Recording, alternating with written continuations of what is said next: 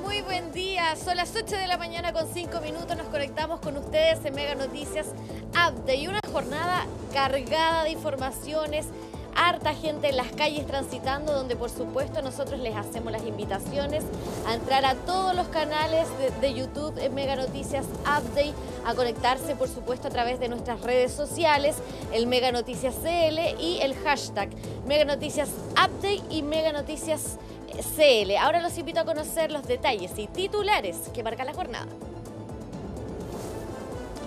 Un robo frustrado se registró durante las últimas horas en la comuna de Vitacura. Sujetos intentaron llevarse una millonaria suma de una tienda de lujo. Por ahora hay un detenido.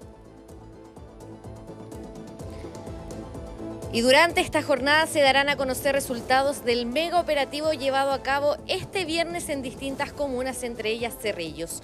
Además, hablaremos de la banda de los Trinitarios, la peligrosa nueva amenaza para nuestro país.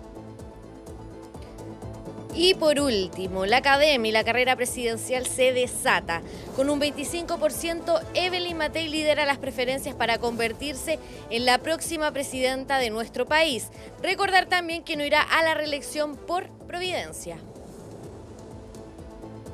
Escríbenos al WhatsApp más 569-5830-0316. Por supuesto, la invitación que le hacemos a ustedes todos los días es a conectarse a través de nuestras redes eh, digitales, el WhatsApp que ahí ustedes lo ven en la pantalla y también más ratito vamos a estar conversando con Macarena del Real para conocer bueno, eh, todas las informaciones del tiempo, meteorología y que también ellos tienen su número. Así que muy atentos. Ahora vamos con más informaciones cuando son las 8 de la mañana con 7 minutos.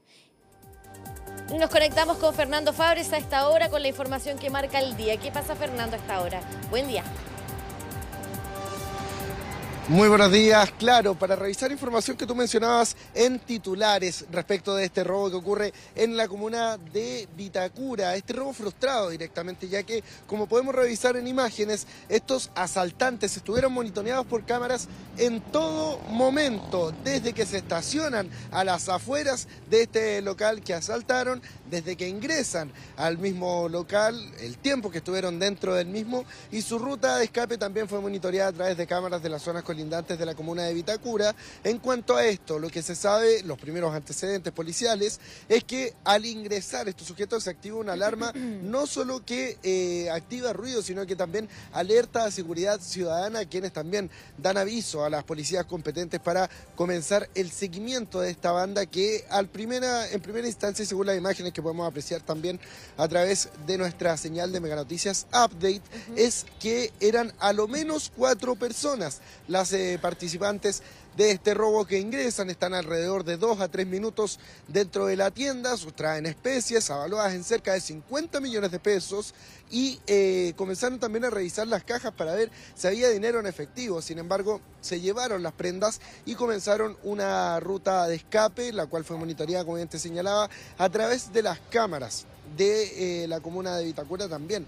Se entregó parte de la información del vehículo en el que se movilizaban a la Central de Comunicaciones de Carabineros, quienes comenzaron un seguimiento controlado para dar con estos sujetos y se logra dar con ellos en Américo Vespucio Norte, a la altura de Recoleta aproximadamente, donde los sujetos abandonan el vehículo y comienzan una ruta de escape a pie, en donde personal de Carabineros logra la detención de uno de estos cuatro sujetos. Respecto de esto mismo, las diligencias fueron encargadas a personal de la Policía de Investigaciones, quienes entregaron antecedentes en torno al procedimiento. Escuchemos sujeto desconocido a bordo de un vehículo de color azul eh, fracturan el ingreso del local comercial sustrayendo diversas especies, las que fueron evaluadas en un total de 50 millones de pesos. Posterior a ello, estos sujetos a bordo del mismo vehículo en que se movilizaban huyeron por la autopista Vespucio Norte, motivo por el cual eh, personal de turno de esta brigada comenzó un seguimiento controlado del automóvil quienes, además de eso, con el, con el objetivo de poder deponer el actual, el policial, eh, arrojaron abrojos metálicos a la, a la autopista e incluso apuntando a los oficiales con armas de fuego. Sí, eh, complicada la situación que se vive y que hasta ahora, por supuesto, se están haciendo todos los peritajes eh, posibles por parte de la Policía de Investigaciones para conocer este hecho, que también lo vamos a ver después en nuestra página meganoticias.cl. Ahora, Fernando, eh, ya se han encontrado personas detenidas. ¿Qué pasa también con aquellos vendedores que están en esta tienda de lujo? Porque sin duda el temor a esa hora o los guardias de seguridad, al estar atentos de este ataque, de este robo, sin duda genera bastante preocupación.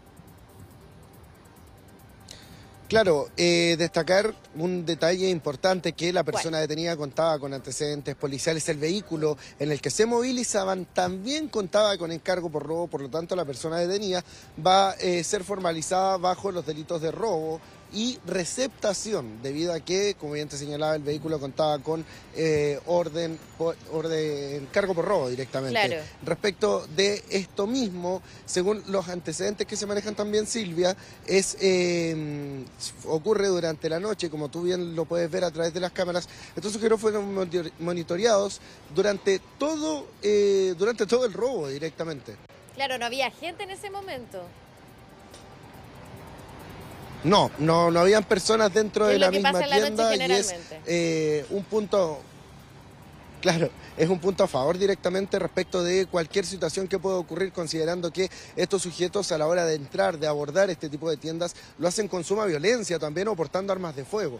Por lo tanto, eh, respecto de, este mismo robo, ocurre, claro, en horas de la noche y em, logran llevarse aproximadamente cerca de 50 millones de pesos en prendas directamente. Hablamos de una tienda de ropa de lujo que, eh, según los primeros antecedentes que maneja la Policía de Investigaciones, eran cerca de 50 millones de pesos en eh, especies las que lograron sustraer. Sin embargo, se logró la incautación de todo el material sustraído durante la noche y se logra la detención de un sujeto y la recuperación también del vehículo donde se movilizaban, que también contaba con el cargo por robo Silvia. Sí, afortunadamente en este caso se pudo eh, restablecer todos los insumos que finalmente son pan de cada día para esas personas para poder realizar las ventas. Y bueno, hasta ahora no hay personas heridas. Afortunadamente nadie se encontraba en este lugar, eso no quita la preocupación y la indignación de las personas de no poder estar tranquilas una noche ante estos eventuales delitos que se están realizando. Bueno, nos quedamos muy atentos, Fernando, eh, porque qué va a pasar acá durante la tarde, se viene la formalización, así que Fernando, nos conectamos a la hora que tú nos digas nomás. Bueno. Quedamos con líneas abiertas, Silvia. Buenos días. Chao, buenos días. Que estés muy bien. 8 de la mañana con 12 minutos. ¿Y qué les parece que veamos las calles? ¿Qué estamos viendo a esta hora nuestro querido director? Santiago, qué linda eh, panorámica a esta hora. Después de un fin de semana del Día Nacional del Deporte, donde vimos a hartas personas transitando en distintos puntos de la comunidad. Ay, me está tirando la talla ahí desde arriba, Tano, que yo estuve jugando ping-pong. Sí, es verdad, estuve jugando tenis de mesa con el ministro de, de Educación y con el ministro de eh, deporte. Bueno, ahí uno tiene que a veces quitarse los roles, pues querido director, y darse una paz, una paz por un ratito para dejar de hacer las, preguntas difíciles. Pero bueno, vamos a, contarles ahí en un ratito más lo que está pasando en las calles, que se ven ahí un se ven bastante fluidas para, para la hora que es, cuando tú vas a dejar ahí a, a tus hijos al colegio, te vas directamente al trabajo, pero sin duda bueno, la idea es que como día lunes nos estemos recargando las pilas porque se viene una, una semana muy larga. 8 de la mañana con 14 minutos.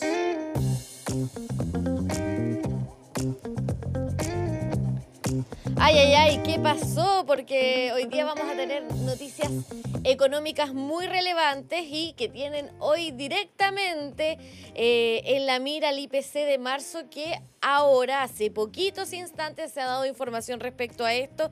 Nos vamos a conectar inmediatamente con nuestro editor de economía, Roberto Sá, que nos va a dar detalle de lo que pasó en este mes, porque al parecer 0,4% es la cifra que nos han dado hoy día. ¿Cuánto va a afectar a la economía, a la inflación? Bueno, Roberto, cuéntanos qué pasó, pues. ¿Cómo estás? Hola, Silvia. ¿Qué tal? Buenos días, gusto saludarte. Sí, pues recién salido del horno está el IPC, el IPC de marzo, que tuvo una variación de 0,4%. Y yo me atrevería a decir que es una buena noticia porque habitualmente el mes de marzo es un mes de variaciones altas porque hay muchas alzas. un pequeño problema de comunicación con Roberto que nos vamos a estar comunicando inmediatamente, pero claro, el IPC de marzo se ubica para que la gente entienda en la parte baja de las expectativas que tiene que ver, por ejemplo, con la inflación y a 12 meses se retoma las pérdidas. Roberto, a ver, ¿nos puedes hablar un poquito para ver si te estamos escuchando? Sí, sí.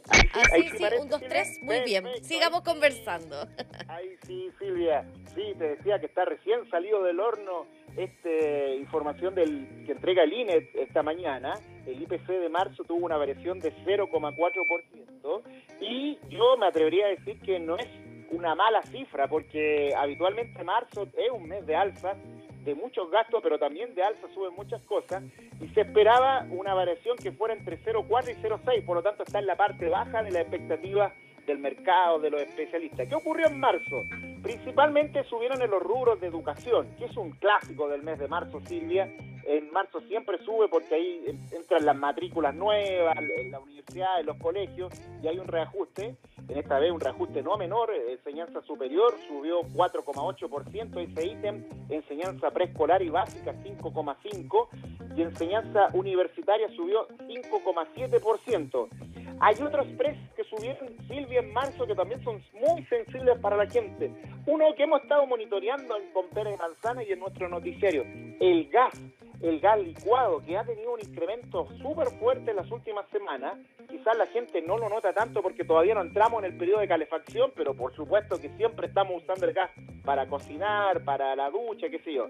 El gas licuado tuvo un alza de 6% y el gas de cañería 4,8%. En el mes de marzo lo registra la variación del IPC. Otros precios sensibles para la gente, la benzina, 3%, lo hemos dicho también, todo esto factor dólar, ¿no es cierto? Y los arriendos que nuevamente volvieron a subir, ¿ah? los arriendos también complicados, ¿ah? han tenido un incremento importante, todo esto porque como la gente no puede comprar, se va en masa a los arriendos, mucha gente buscando arriendos, los arriendos son los mismos, entonces suben 0,6. Hubo cosas que bajaron, Silvia. ¿Qué cosas? Hubo cosas que bajaron. Alimentos, principalmente uno muy sensible para la gente. Las carnes subieron, ah. perdón, bajaron. Las carnes bajaron. Poquitito, pero bajaron en marzo. 0,8%. Y el alimento que más bajó, fíjate Silvia, las cecinas. 3,4% bajaron las cecinas. Eh, por lo tanto, si uno pudiera hacer ya un resumen, en marzo se subió los ítems educación y vivienda y se bajaron varios em, alimentos. Haciendo un análisis más macroeconómico, Silvia, yo te diría que este es un, un, eh, aceto balsámico, un, bálsamo en, una, en un plato que había estado medio complicado este año porque habíamos tenido en enero y febrero variaciones del IPC bien altas por ese tema del dólar y ahora en marzo baja un poquitito, te da una tregua y por lo tanto esto puede ser un aliciente entonces para la autoridad económica para seguir combatiendo la inflación, pero con otras medidas quizás porque la tasa de interés ya el Banco Central ha anunciado que la va a seguir recortando, pero no al ritmo que venía porque es, cuando la, la tasa de interés baja mucho, sube el dólar.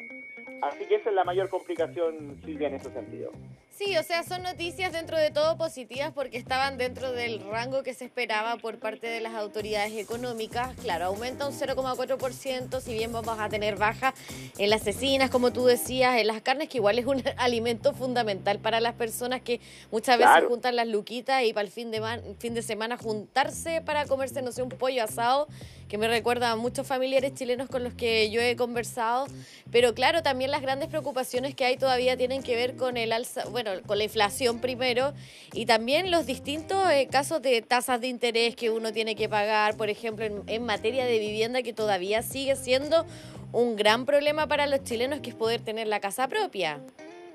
Claro, sí, pues efectivamente. Eh, el tema además del IPC tiene mucho que ver con lo que tú mencionas de la casa propia, porque la variación, ahí, ¿me escuchan bien? Ahí sí, ahí, ahí, me escuchan bien. Al parecer tenemos problemas de comunicación con Roberto, porque no se escucha, pero bueno, yo les dejo ahí la incertidumbre también, porque el tema de la inflación ha sido bastante eh, compleja eh, para todos los chilenos y sin duda ahí eh, una de las grandes preocupaciones tiene que ver con que si esta alza va a poder afectar a suministros básicos, a servicios básicos como tiene que ver con la educación, con la, con la vivienda, como yo les mencionaba anteriormente.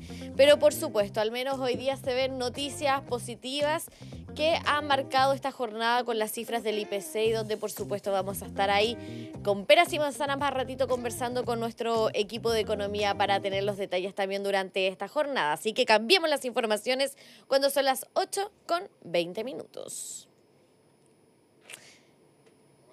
Y vemos imágenes de, por supuesto, parte de nuestra región, de la capital ahí, Santiago, en un día bastante despejado. ¿Qué les parece que veamos información a esta hora de Transporte Informa? Usted, por supuesto, yo le hago la invitación a esta hora que si se encuentra en la calle, mándenos imágenes en el hashtag Mega Noticias Update o hashtag Mega Noticias CL o también, más ratito, que se nos va a sumar la maquita del Real, el mega tiempo, para que ahí podamos estar viendo su fotografía, si usted está comiéndose un rico desayuno para que me pueda sacar pica, o si está en un taco, bueno, yo lo abrazo, yo lo acompaño, yo lo siento en esta horita, por supuesto, porque ya hay varias rutas atochadas que les voy a ir mostrando ahora en la pantalla, como por ejemplo esta restricción en la pista en el túnel del acceso sur al norte a la altura del kilómetro 1 debido a una colisión por alcance entre vehículos. La situación ha generado que el tránsito esté bastante lento desde Avenida Gabriel, así que considere tiempo extra en el desplazamiento esto en la comuna de La Pintana. También, atención, se mantiene el cierre definitivo en la calle Romeo Salinas en la comuna de Ñuñoa y se recomienda también la alternativa del acceso hacia Diego de Almagro y la continuidad de Romeo Salinas por la calle Rosita Renar y el acceso a Avenida Tobalaba por Celerino Pereira. Así que mucho ojito por ahí para las personas que están transitando esta hora. Y por último, Transporte Informa nos cuenta que ahora hay una restricción de la pista de buses en Avenida Providencia al poniente, esto en la esquina Cirujano Guzmán. Esta calle todos los días tiene taco, Dios mío, yo quedo demasiado, eh, me llama mucho la atención que siempre ahí la gente tiene que tener mucha precaución, sobre todo porque hay muchas personas también en ciclovía, así que harto cuidado y también harta responsabilidad de dejar que la otra persona pase tranquilamente para que no puedan haber accidentes. 8 de la mañana con 22 minutos. Ahora sí que sí, porque la base se lo dice. Partamos un buen lunes. Me gusta esta base porque es como muy bailable, ¿no, Maquita? Está ahí como. Ay, mira, le sube la música. Mira, mira, mira. Es como Este la es nueva coreografía. ¿Cómo está Maquita? Maquita Bien, Real. ¿y tú? Bien, aquí con Yo espero que estés Como- contenta. ¿Por qué tengo que estar al contenta? fin, al fin se cumplió esto que tú eh, pedías con tantas ganas. A ver, que ¿qué bajaran un poquito las temperaturas. Sí, están, están mucho más agradables, debo decirlo. Ah, Por ejemplo, ayer domingo yo fui a ver a Edo Caroe. Ya. y mira. me desperté muerta de calor, sí, ya, ¿para qué? Pero yo soy exagerada porque soy otoñista. Pucha, pero, después ya a las 5 o 6 de la tarde, el airecito era como marino, era rico, era agradable estar con una polerita a diferencia Sí, de la tochante calor de diciembre. Oye, bueno, hay que conformarse con algo. Están Siempre. bajando de a poquito, Nada de a poquito. Y hoy día vamos a tener una máxima de 26. La semana pasada habíamos visto temperaturas bastante cercanas a los 30 grados. Y esta semana vamos a ir viendo cómo de manera paulatina van a ir bajando las máximas. Por ejemplo, si bien hoy día se espera una jornada despejada aquí en la capital con máxima de 26 grados, mañana va a subir un poquitito a 27, pero los próximos días va a ir bajando. Por ejemplo, el miércoles con nubosidad parcial llegaremos a 26, el jueves a 24 grados de máxima y el viernes va a estar despejado pero con 22 grados de máxima. Sí, me llama la atención mucho que creo miércoles por ahí va a estar nubladito. Con nubosidad parcial. Eso es rico. Sí, rico, porque igual echábamos de menos estas temperaturas un poquito más otoñales. Aunque todavía estamos sobre la temperatura en promedio máxima que debiéramos registrar en el mes de abril, que es de 23,1 grados. La máxima media, digamos, Claro. lo que tenemos ahí eh, de alguna manera visto con los promedios de los meses de abril anteriores. Todavía estamos muy por encima, pero ya el jueves, viernes, nos vamos a acercar a esa temperatura en particular. Estamos viendo imágenes de la de Santiago, la gran capital, sin duda, a esta hora. ¿Y qué es lo que se espera? No solamente porque Santiago no es Chile, en las Sí, es verdad, es verdad. Vamos por el norte. Oye, Mira, ahí Ay, estamos viendo Valparaíso, si no me Valparaíso. equivoco. Bueno, hoy día esperamos una temperatura máxima de 19 grados y si te fijas está bastante nublado a esta hora de la mañana, pero esto va a variar a nubosidad parcial, es decir, a eso de las 12, una, va a salir el sol pero acompañado de algunas nubes. Es que es habitual tener el día nublado y que después se despeje pasado al mediodía en las zonas costeras. Sí, muy rico de todas maneras. Sí. Oye, bueno, eh, ya que estamos en la zona central de nuestro país, hay que decir que, por ejemplo, en Rancagua también han bajado las temperaturas en la región de O'Higgins, que son bastante similares las máximas a la región metropolitana. Hoy día en Rancagua, por ejemplo, esperan 23 grados de máxima, también bastante agradable. Ahora, si nos vamos a Talca, va a estar cubierto, variando ahí a despejado, pero también con temperaturas cercanas a los 25 grados, al igual que en Chillán, donde vamos a ver chubascos en nuestro país es en la zona sur. Por ejemplo, en la región del Biobío va a estar nublado tanto en Concepción como en Los Ángeles con máximas de 20, 21 grados.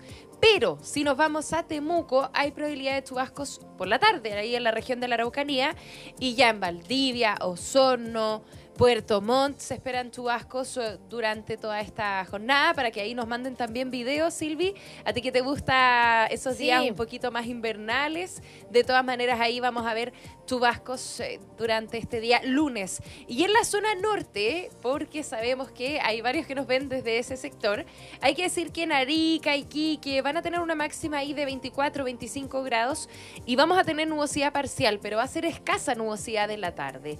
Esa que con suerte se ve unas nubes bastante lejanas. Ya en Antofagasta vamos a ver un cielo nublado variando a despejado con máxima ahí de 22 grados. En Copiapó lo mismo. Siempre en la mañana se siente ahí la camanchaca como cubre todo el cielo, pero después se va a despejar con máxima de 25 grados. Ojo, ah, porque ahí en la región de Atacama, en Copiapó, también habíamos visto temperaturas cercanas a los 30 grados, pero hoy día ya están bajando y eh, para esta jornada se esperan 25, lo que es bastante menor a lo que estábamos acostumbrados. Y en La Serena, de nublado a parcial, al igual que en Valparaíso, y llegando ahí a 18 grados. La costa, el litoral, tanto de la región de Coquimbo como en la región de Valparaíso, va a estar bastante similar durante esta jornada. Nublado variando parcial y con máximas también menores a 20 grados. Bastante rico, diría yo, para esta jornada eh, de lunes, partir la semana, la segunda de abril, con temperaturas y jornadas un poquito más otoñales que se echaban de menos, ¿no? Oye, el fono mega tiempo, más 569-9751-5764. Y yo tengo acá nuestra plataforma web megatiempo.cl para que la veamos en pantalla, querido señor director, para que la gente pueda ver, por ejemplo, cómo ingresar acá para conocer eh, el disti- los distintos pronósticos del tiempo que hay, por ejemplo, en, en- en puntos del país y para que conozcan bien cómo hacerlo. Mira, por ejemplo, yo acá tengo el tiempo en la región de Magallanes, que ahí lo puede comentar la maquita, que por lo menos vamos a encontrar que va a estar mayormente despejado con Sí. 2%, que es la temperatura como habitual de esta región, ¿no? Mira, a esta hora claramente la temperatura actual va a ser bastante baja, sobre todo, mira, ahí sale Punta Arenas con 2 grados, pero esa es la temperatura actual. La máxima claramente va a ser un poquito mayor, pero está rondeando los 10, 15 grados en esos sectores. Ahora, si te das cuenta, recién en el faro Cabo de Hornos van a caer algunos chubascos pequeños con ráfagas de viento importantes. Oye, y en esa página también pueden no solamente encontrar el pronóstico, sino eh, noticias relacionadas al cambio climático. Hay secciones donde nosotros podemos explicar también distintos fenómenos meteorológicos. Mira, ahí tenemos imágenes de Punta Arenas. ¿Y qué les parece que vayamos a, a ver ahí en la página? Mira, voy a ir bajando para que sepa ahí la gente cuando se entre a la página de eh, Megatiempo.cl. megatiempo.cl. Antes de todo, ustedes van a tener que entrar a la página donde se les va a abrir eh, todo esto. El que- inicio, Que claro. se volvió loco acá en esta página. Se, Oye, volvió loco. tengo que retar a la gente que nos está viendo. ¿Por qué? Porque ahí están viendo el fono Megatiempo, que Ahí. es más 569 9751 5764. Oye, Acá nos han mandado mensajitos, nos han llamado, pero no, lo que tienen que hacer es enviar videos y ojalá relatando cómo encuentran ustedes que está el tiempo en su ciudad, si es que está nubladito, si creen que se va a despejar, qué panoramas se pueden hacer, de todas maneras, para que manden videos y no nos llamen por teléfono porque si no colapsa. Sí, así que esa es la invitación que estamos haciendo a esta hora, más 569-9751-5764 y nos vamos a una pausa inmediatamente en Mega Noticias Update. Usted no se desconecte. Lo importante que usted que no está viendo en Mega Noticias Update es que tome su celular, acá, sí, acá, en el celular.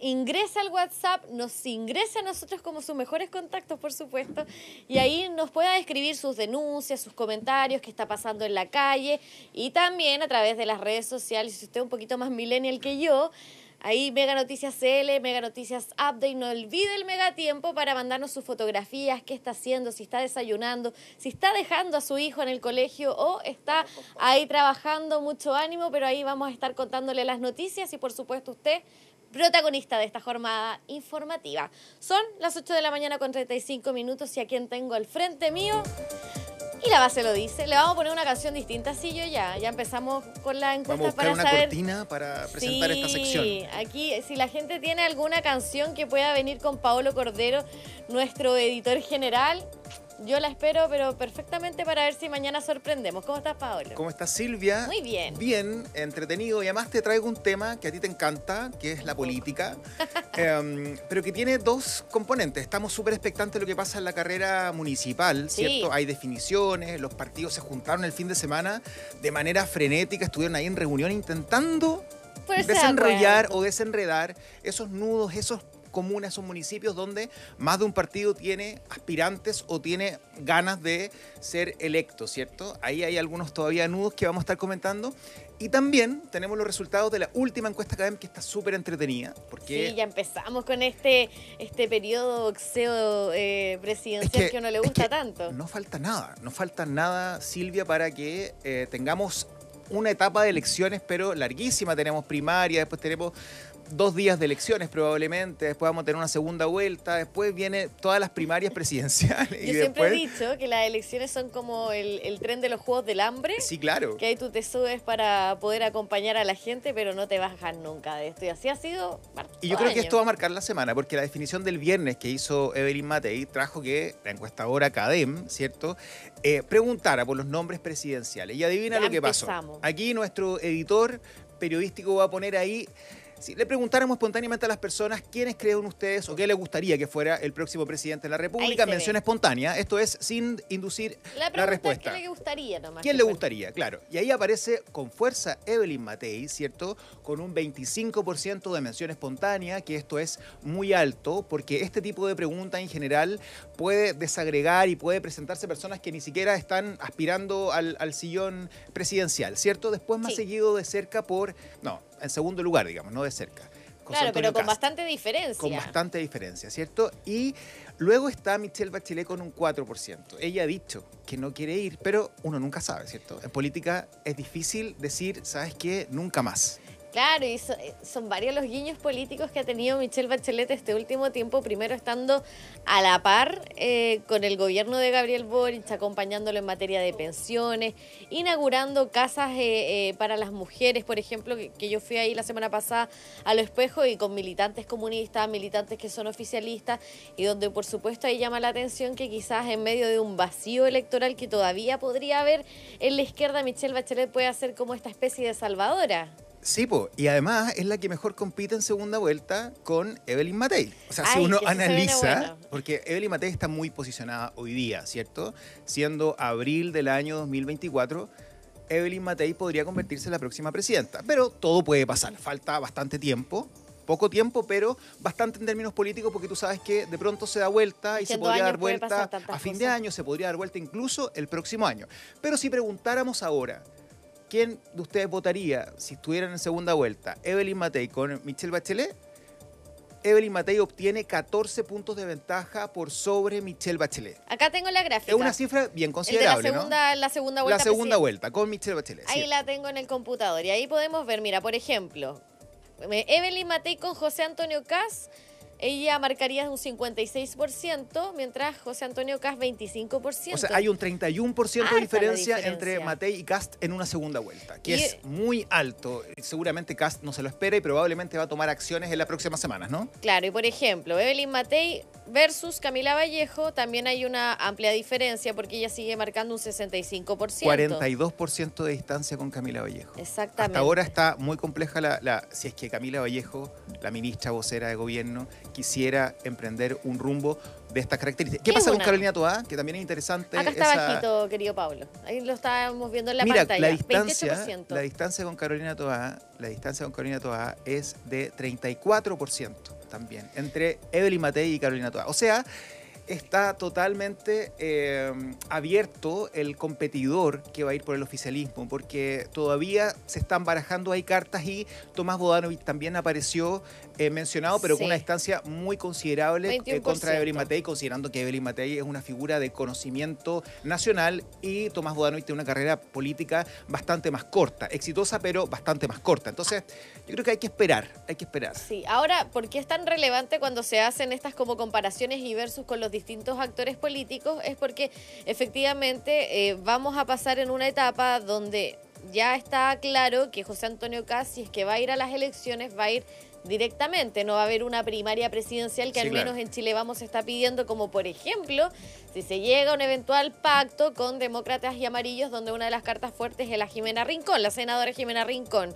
Y quién sabe ahí también si es que en algún momento los afanes presidenciales de eh, Rodolfo Carter se suman y si es que pasa esta situación que pasó con Sebastián Sichel de exigir una primaria también dentro del sector. No, está, está totalmente abierto, Abierto. siento yo. O sea, aquí hay una clara tendencia. Uno podría decir, sí, Evelyn Matei tiene la primera preferencia eh, en todas las preguntas, ¿cierto? Si es primera vuelta, segunda vuelta, mención espontánea, etcétera.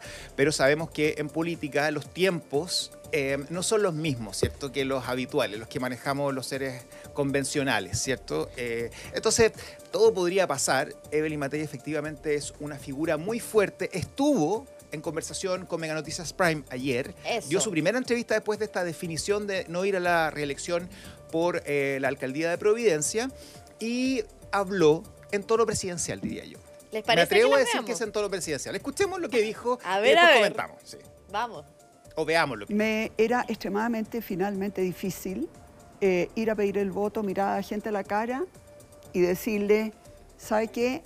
Yo de verdad voy a ser alcaldesa, sabiendo que el próximo año quizás puede pasar otra cosa, lo que me impedía de alguna manera eh, ir a pedir el voto de buena fe. Me sentía demasiado incómoda. Yo tengo la impresión que los candidatos presidenciales no los define uno, tampoco los definen los partidos. Eh, yo siento, digamos, que los define la gente, eh, la ciudadanía. Bueno, y las declaraciones de Evelyn Matei que da cuenta también de un escenario bastante difícil a lo que ella vivió hace casi cuatro años atrás, porque recordemos que ella estaba en la misma posición cuando era alcaldesa de Providencia también, y que en aquel entonces era también jefe comunal Joaquín Lavín, y que en este caso ella decide ir a la carrera municipal, pero con tiempos eh, completamente distintos. ¿Por qué? Porque ahora estamos con un gobierno que es de izquierda, donde efectivamente ha sido bastante crítica a la derecha y que ellos ven como una oportunidad electoral el sacar a Matei para dedicarse, con estar conscientemente dedicada a eso. Y también en aquel entonces el Consejo Municipal era todo opositor a él, entonces al momento de que una alcaldesa sale, hay nuevas elecciones, quienes se de- de- eligen internamente son el Consejo Municipal. Mira, Mejor tener una carta. Y ahora te llevo al terreno municipal, porque Ah, ¿qué Evelyn pasó? Matei, entre sus últimas declaraciones, ¿cierto? Ha dicho que le cae muy bien Jaime Belolio, es una persona que le cae bien. Eso dijo, o sea, no lo quiso ungir, porque efectivamente ella cree en los mecanismos democráticos, al menos eso, Claro. eso quiso dejar muy claro la entrevista con Juan Manuel Astorga, eh, la entrevista que emitimos en el Mega Noticias Prime de ayer, Eh, y por tanto ella dice, yo no lo voy a ungir porque creo que esperemos lo que deciden las colectividades, los partidos, ¿cierto? A quién eh, quieren llevar y que dice también el electorado, porque podríamos ir a primarias en la comuna de Providencia, donde Jaime Belolio es la figura de preferencia de Evelyn Matei, pero hay otras figuras y también en el oficialismo ya empezaron a decir, podríamos eventualmente ganar Providencia, que es una comuna muy importante para la región metropolitana, eh, para Santiago específicamente, entonces también tienen sus candidatos y está Josefa Razuriz como uno de los Sí, nombres exalcaldesa también. que se ha mencionado que probablemente pueda ir a una elección primaria para definir quién es el candidato que va a competirle a la carta de Evelyn Matei. Evelyn Matei efectivamente va a poder desplegarse. Dijo que iba a usar, porque ella va a ser alcaldesa hasta el final de su mandato, ¿no? Sí. pero va a usar tiempos libres, seguramente fines de semana, días libres, vacaciones, para poder Sin hacer goce. campaña por aquellos que le pidan. Dijo que incluso está disponible para apoyar a Marcela Cubillos por su candidatura en la comuna de Las Condes. ¿no? Siempre y cuando, siempre y cuando ella se lo pida, porque fue bastante crítica con el tema de juntar las mil firmas para ser Claro. parte de una competencia, donde ella decía que es mucho más valorable el que esto, estos temas se puedan desarrollar también en los mismos partidos, donde vamos a tener a Jaime Belolio, supuestamente que es como el ungido de Providencia, De Providencia, ungido de la UDI, que se espera sea así, pero también la carrera se podría desatar con los dos exministros del gobierno de Sebastián Piñera, los dos Monkevers, Nicolás y Cristian, donde se está viendo esta posibilidad. Tienen de aquí Vamos a miércoles a las qué pasa. 23 con 59 minutos. Eso, eso te iba a decir, Diga. que va a ser una de las cosas que marca la semana, ¿cierto? La inscripción de estas candidaturas primarias eh, a los municipios, donde se van a conocer, ¿cierto?, las negociaciones que se están llevando a cabo a esta precisa hora y probablemente se van a extender hasta casi ir al Como buen chileno. ¿cierto? A última hora. A última hora, porque todavía hay bastantes trabas. Está bastante Sí. entretenido y podríamos ir comuna por comuna, pero se nos acabó el tiempo. Ay, así que sí, ya no reto Tano. No nos rete. Pero lo que queremos es que nos gusta, no, no embolamos. Pero estuvo muy no entretenido. embalamos. Gracias. Ya, Paolo Cordero, muchas gracias por la información y ahí se va a estar desarrollando todo esto en las distintas plataformas de Mega Noticias. 8 de la mañana con 46 minutos. Y nos conectamos con información del momento, este es el escudo de los Trinitarios, una banda que ha afectado a nuestro país. ¿De qué trata? Porque esto está todo en marco de este operativo, mega operativo que se realizó en varias comunas, entre ellas Cerrillos. Nuestro compañero Pablo Tapia tiene los detalles de quién, quiénes son esta banda delictual. ¿Cómo estás, Pablo? Hola, gusto de saludarte, Silvia Córdoba. Sí, Igual. una banda internacional criminal que instaló su fortín ahí en la población Nuevo Amanecer de Cerrillos. Veíamos durante la jornada del viernes pasado un mega operativo sin precedentes, al menos en la historia policial más reciente de nuestro país, cerca de mil efectivos policiales repartidos en 126 puntos de interés para la Fiscalía Occidente que está llevando adelante estas pesquisas. Hablaban de una, de una banda dedicada al narcotráfico, a los secuestros, inhumaciones humanas, eh, delitos que hemos visto que han ido ocurriendo durante el último tiempo en nuestro país, también el sicariato, que tanto daño ha realizado a la seguridad de la sociedad en medio de esta crisis de seguridad. Comenzó el año pasado en indagatoria, el 2023, y finalmente culmina con este mega operativo que deja a más de 50 detenidos. También durante el fin de semana, personal de la Policía de Investigaciones detiene en el aeropuerto de Santiago, en su llegada a la capital del país, a uno de los cabecillas de esta eh, mega banda internacional que comienza en Estados Unidos, precisamente en una cárcel, se, se arman ahí en ese eh, punto en Norteamérica, luego comienzan a cometer distintos delitos en ciudades de Estados Unidos, migran hacia lo que es Europa, también delitos muy crueles, muy violentos, con la utilización de armas largas y también machetes, según da cuenta la prensa internacional. Y durante los últimos años ya se tenía información que se encontraban en nuestro país. Por supuesto, una situación que tenía en alarma a las autoridades y que afortunadamente en este mega operativo se logró detener a gran parte de esta organización criminal. Vamos a escuchar algunas declaraciones de Silvia. Córdoba, ¿te parece? Que dan cuenta de quiénes son estos sujetos y de este mega operativo para capturar. Veamos. Se detuvo a un blanco investigativo, líder de esta banda de nacionalidad dominicana, con gran poder adquisitivo, ingresando en el aeropuerto de Santiago. Sí, exactamente. Mira, ahí estamos viendo a esta hora, cuando son las 8 de la mañana con 49 minutos, el mega operativo que se realiza, Pablo, en las distintas comunas intervenidas. Entre ellas está en Amarillo, Maipú, Pudahuel, Cerro Navia, Estación Central, Santiago, San Joaquín, Macul, Peñalolén, La Florida, San Miguel, Cerrillos, El Bosque y San Bernardo. Creo que ese ya lo mencioné. Pero claro, son varios los puntos donde se están realizando estas medidas. eh, de seguridad, por supuesto, con varios eh, contingentes policiales que han estado presentes y también lo que llamó la atención la semana pasada, que hasta la Fiscalía estuvo ahí en terreno dando cuenta de, esta situación que, por supuesto, ha afectado a muchas personas en nuestro país. Ahora, lo que se está esperando es si efectivamente esto se va a poder extender a otros puntos también, no solo de la región metropolitana, sino que a nivel nacional, donde hay varias personas que los hechos delictuales y, por supuesto, la escalada de violencia se han visto afectadas ella. Así es, Silvia, son eh, sujetos que utilizan muchas veces empresas de fachada, por ejemplo, para simular que están generando dinero de manera lícita, pero en definitiva detrás de eso se esconden diversos delitos eh, que tienen relación con el tráfico de drogas, lavado de activos, asociación ilícita, eh, usurpación ilegal de inmuebles, sujetos que se toman casas y en definitiva las usan para copiar la droga y luego venderla a otros puntos eh, del país. ¿Por qué son tantas las comunas? Porque estos sujetos se fueron instalando en, distintos puntos de la capital para hacerse con el territorio. Es muy común en el crimen organizado que el avance de su fuerza no se dé con la violencia y también con eh, ir tomando estos puntos de la capital. Utilizaban en su mayoría, a pesar de ser todos dominicanos, se ha, establecido que en su mayoría utilizaban a los llamados soldados, que eran de nacionalidad haitiana, para ellos así realizar el microtráfico